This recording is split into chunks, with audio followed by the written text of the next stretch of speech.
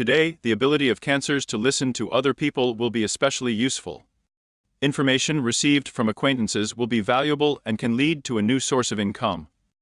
In the evening, beware of stray dogs, there is a possibility of aggression on the part of our smaller brothers towards people. Today, cancers can afford to make the desired purchase, the purchase will not cause serious damage to the budget, but it will be a pleasure. Subscribe to the channel. Get the forecast every day. Join us on Telegram, link in description.